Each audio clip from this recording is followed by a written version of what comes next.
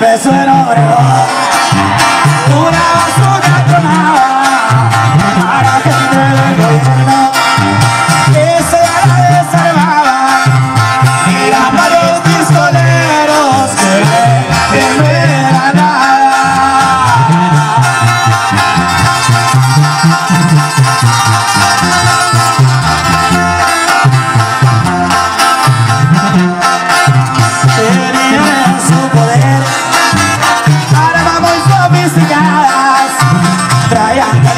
si pota